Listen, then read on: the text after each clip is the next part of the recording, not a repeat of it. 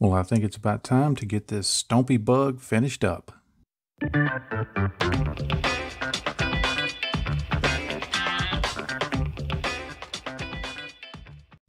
Well, just to catch you up, if you have not seen the previous videos in this build series, um, everything's obviously painted, decaled, panel lined, post shaded, um, and I have the chipping done. So all that's really left to do is put on uh, fluid and environmental effects. So that's going to be the focus of this video. Now, a few months back, I did um, a series of videos in the basic skills series that cover adding uh, fluid stains and fuel stains and things like that. Um, there should be a link popping up somewhere up here about now uh, if you want to go back and look at those. But they simply covered uh, the very basics of it and using various uh, acrylics, oils, enamels, and things like that. It's just kind of an introduction to how are those applied. This video, I'm going to focus on more advanced application and I'm going to be focusing on the use of acrylic products. And for the weathering process that I'm going to be covering in this video, I'm going to be sticking to acrylics. Now, it's I think it's worth noting um, if you've not weathered with acrylics, it's not like weathering with oils and enamels. Oils and enamels are a subtractive process. You put some oil or enamel on, and then you get some thinner on your brush, and you blend it in, and you stipple it, and you do these things to remove some of the product from the model, and what you leave behind produces an oil stain or a streak or something like that. With acrylics, because of their very fast drying time, you want to add, think of it as an additive process where you're adding those things on gradually until you build it up to get the look that you want. So I'll be using a lot of um, very thin layers, um, uh, really working with the opacity of the products by adding water and other things um, to reduce the opacity and then putting them on in smaller amounts and building it up. Now, in terms of the application, it doesn't necessarily save time over oils and enamels. However, when you're applying these acrylic products, um, once you've got them on, you're about 20 seconds away from a quick hair dryer blast to being able to put the next product right on over it without any worry about um, it pulling up or you know blending in or something like that. So uh, that's what appeals to me is the speed with which I can work um, because, you know, as I get these videos done, I need to work fairly quickly. So that's why I like using acrylics. I do use oils and enamels and I'm very comfortable with them. But more and more, I'm finding that acrylics fit very well within my own workflow. And it's a good skill to have. Now, the first thing I'm going to do is apply dust effects to the model. Now, obviously, this is going to represent dust, but I always like to think about the environment that it's going to be in. Um, and I don't use just one color of dust because there's going to be various, um, you know, various mixtures of it, various depths of earth. You know, if you've if you've walked around the woods, you know you find some areas that have slightly different colors of dirt and dust, and it can be affected by uh, just about anything. So I, I rarely use just one color. But I also think about okay, is the area that I'm going to depict this being in, is it one that has a lot of moisture or is it very dry? Because if it's very dry, the dust is going to be more of a solid effect. Whereas if it's in a more moist environment, the dust will collect on it, then condensation will collect on it, say in the mornings, and that condensation will run down the vehicle eventually. And it will, it also, as it dries, it will pool the dust and make different patterns in the dust. So it's just one of those great ways that we can overthink our models. But I think in terms of doing that, now I think streaking is more interesting than just a solid layer of dust. But that's that's the the theory that I put behind it. Now the three colors that I'm primarily using for my dust are this uh, European dust, uh, gray, and desert dust. Now what I'm going to do for the upper surfaces is I'm going to desaturate each of them with just a little bit of this model wash just to lighten it up a bit. And I'll do that in my metal palette right here. I'll just pick one of the colors to start with and wick off most of it onto this paper towel. I'm just using this cheap liner brush here. All I'm going to start doing is just flicking that on there like this. Now, for my initial pass, I'm going to go pretty much from the top of the side surfaces down to this lower um, part here. So I'm going to cover it pretty much fully. Now on those more upturned surfaces, I'm going to do something a little different with those later. I'm just going to go in and add these streaks just randomly. The reason I'm doing the flicking motion is that allows me to get just the tip of the brush on there and keep them from getting too much looking like I'm just painting paint on, which is really all I'm doing. then once I get the first layer on, I'll switch to the next color and just start putting that on like this. They're going to go on, uh, some of the colors especially are going to go on much more opaque than they will actually dry.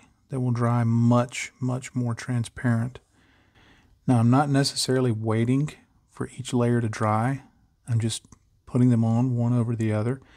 Um, randomization says that some of the streaks won't overlap. And uh, if they do and they mix a little bit, that's fine.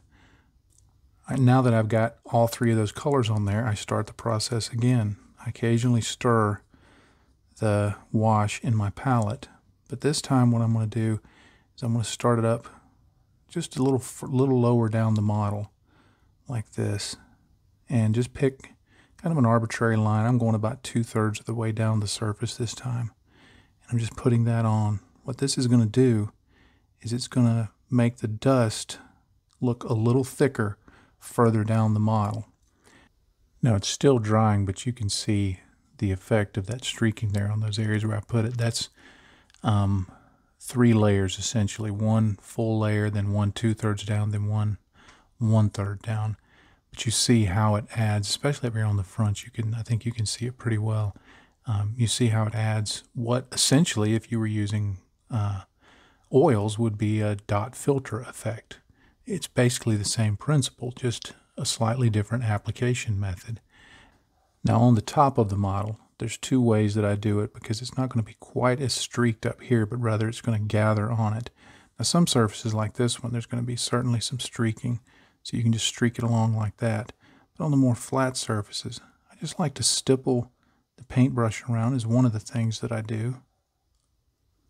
And then on larger areas, I'll actually just touch a sponge just into the wash and then get most of that off. And then just go onto the surface and begin sponging some of that on on those flat surfaces like that. If you get a little too much on, just use the dry edge of the sponge to touch to it and pick up the excess. Here you can see the, the first pass of those washes sponged on. It's a very faint effect, but it's built up and works really well.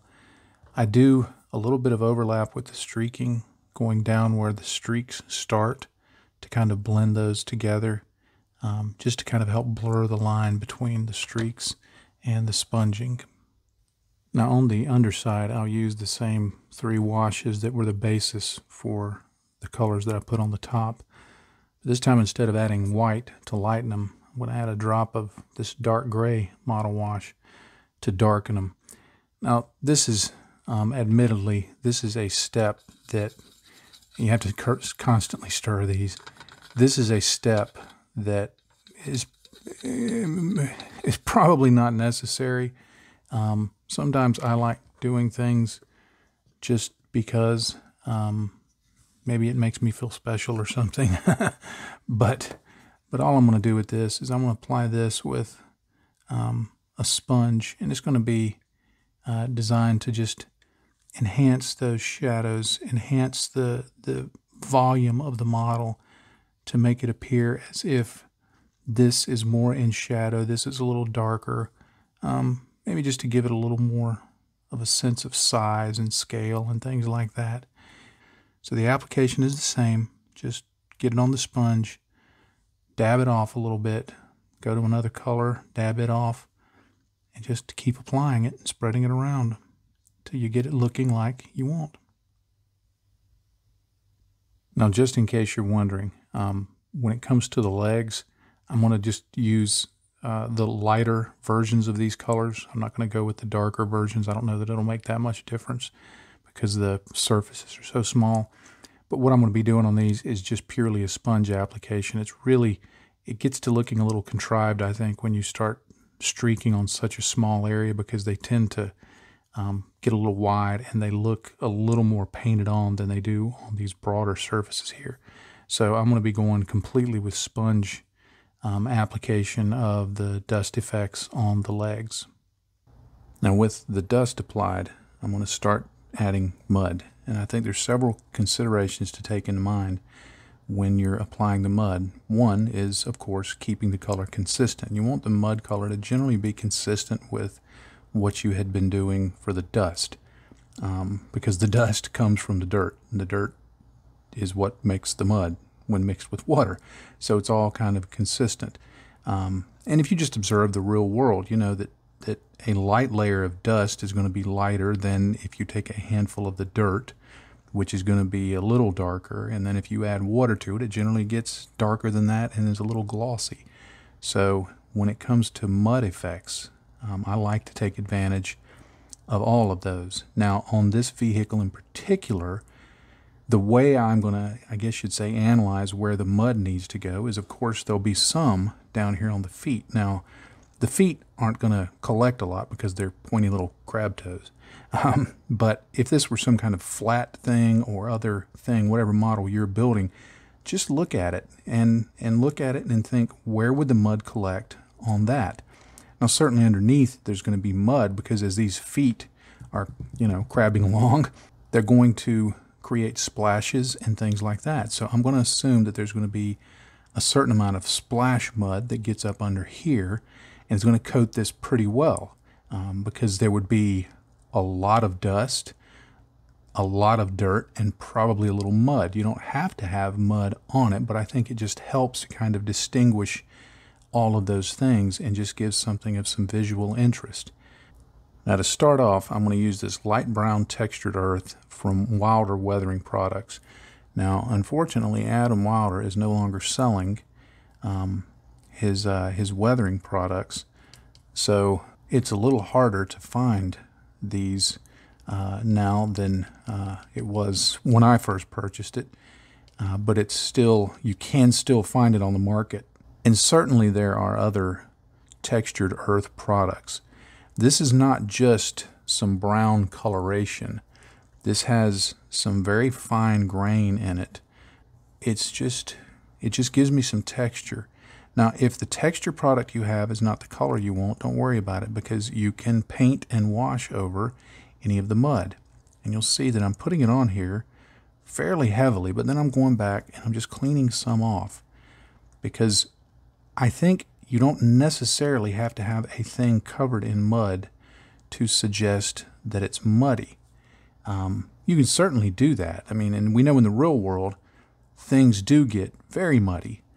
But I think having areas of some heavy mud, some collections of mud, and then some places where the mud may not be as heavy, despite the fact that you would think it would be, while that may not be as realistic, I think what it does is it allows some of the detail that you've already put into it to show through. Now on the underside, I'm going to use the same uh, same textured earth product. Now up here in, I, I, guess you, you wouldn't call them the, we almost called it the wheel wells. I guess it's the leg wells. Um, up here in the leg wells, I'm going to be okay with going a little heavier. So I'm going to give this a good coating of it up in here and then along the bottom side I'm just going to do more of that stippling, imparting a little bit of the texture on and getting that muddy, but then occasionally washing my brush off in my water, dabbing off a little on a paper towel, and then just coming back and blending that just a little bit so that it's not quite so heavy and lets some of that chipping and other detail and things like that show through to, again, sell the notion of mud. And I just keep building up these layers until it gets to the point that I think I want it to be at. Now here you can see it kind of in progress. I'm obviously not completely done with it, but this is the first layer of mud added on, and then I just I just hit it with a hair dryer briefly to dry it up. But you see the light texture that's on there, and the muddy color, and things like that. Later um, uh, additions of more mud, and then some of those washes and some other products are going to much better sell the notion that this is a muddy thing. Now, once that textured earth is dry, I'm going to use some European dust again. This time I'm going to add in some oiled earth to uh, what I'm doing. And that's just going to be for the recesses, um, just to make some deeper shadows. All I'm trying to do here is just shift the color of that textured earth that I applied to something more consistent with the dust effects that I've already applied. And this just goes right over and it basically uh, tints the, the textured earth product. It'll leave some staining on the paint, but that's okay because it just looks consistent with the rest of uh, what I've already applied. I'm applying this very wet. I'm not I'm not worried about if it's you know I'm not stippling it on or doing it you know in any petite precious kind of way. And then I'll come in here to the wheel wells, uh, the, the leg wells, and places like that where there's going to be a little more shadow. And then I'll come over here and get some of this oiled earth and put that in there just to deepen those shadows a little bit. And I'm just wet blending that. Not even worried about trying to, to keep them really distinct. And then I just come back and just keep applying the European earth. I'll also use the European dust wash to uh, paint on the the color on the textured earth that I put onto the legs, both at the, the joints where it connects with the rest of the model and down here on his pointy crab feet. Now I've added the legs on so I can start evaluating it as a whole. And what I've done is I've mixed some of this desert dust and the European dust into my palette here.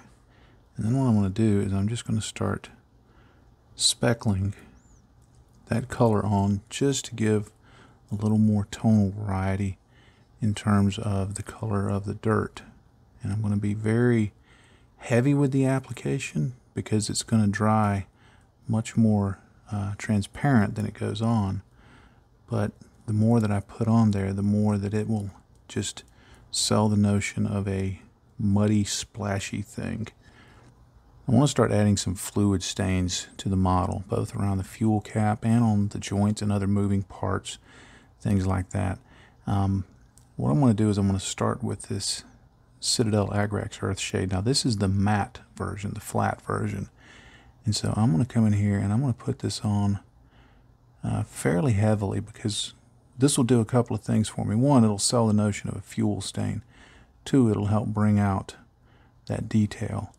I'm going to put that on there and I'm just going to draw it down like that to kind of create the staining and things like that. Now this is going to represent fuel that has been spilled and has dried up and has taken on kind of a matte appearance to it. And I can bring this further down like it just goes on down the side of the model. Maybe get a little here on the leg even. But I'll get this on here just real heavy like that. And then I'll hit it briefly with the hair dryer. Now you can see that dried very matte. And so what I'm going to do is I'm going to go in over it with this Vallejo fuel stains. I'm going to be much more direct about my application here. Just put a little on like that. Maybe stipple a few little dots here and there. This is going to dry gloss. And so there will be some contrast between the more spread out fuel stain and this fresher gloss stain. Now, I'm doing this for the sake of demonstration because I am going to put a matte coat over this. If you were doing this in production, I guess you'd say, then you would want to put the gloss on after you did a matte coat because obviously the matte coat's going to matte that down. But I think it works for the sake of demonstration and I can go back and add over it later. I can pick other areas for just various fluid stain looks like right here. I'm just going to drop in a bunch of the Agrax Earth Shade just to give that an oily appearance. This will dry uh, matte, and uh, which is what I want. So it'll help define it a little bit, but it'll also just give it an oily look um, and it'll be in contrast to this area. I'm not really thinking why are the two different. I'm just thinking, hey, they're different. So that'll be good enough. And then on areas like here on the joints, things like that, you can just apply some in there. Um, have some streak down. Same way with down in the joints here. Uh, you can apply it. It'll kind of define the dirt a little bit, but you might have fluid leaks there because with these legs moving, there's going to be a lot of fluid dynamics happening. So it won't be um, unusual for there to be some kind of leak or stain or things like that. Now as I apply this, I'll switch it up and I'll probably use a little bit of Citadel's Nuln Oil too, which is black, but it'll just sell a notion of different kinds of stains. And you just put these wherever you think that there might be some kind of fluid leak from hydraulics or oil or any other kind of lubricant or anything like that. The key is using multiple colors and multiple finishes, gloss or matte or satin, is really going to help sell the notion that there's something going on there of interest. All right, well, I think I'm going to go ahead and call this a video. Um, I've got this mostly finished. Um, my, my goal for this video is to talk about uh, the various weathering techniques and kind of to take, as I'd mentioned, to take what I had talked about in the basic uh, series on each of these techniques and then combine them together here using acrylics, using multiple colors, using uh, just combining things together. And the goal is to show, uh, was to show that if you take those basic techniques and build upon them, then you're going to get something that is more than just the sum of the parts. Uh, at least I think so. Um, so I'm I'm really happy with how this turned out in terms of weathering. I I think it looks it looks dirty. It looks used, but it doesn't look um, as if it's just you know completely fallen apart and and uh, ready for the junk heap. It looks operational. Uh, there's still a few more things I'm probably going to do off camera uh, that are not related to the purpose of this video. I'm going to make the the the clear parts a little less shiny using a very very light uh, acrylic wash over it.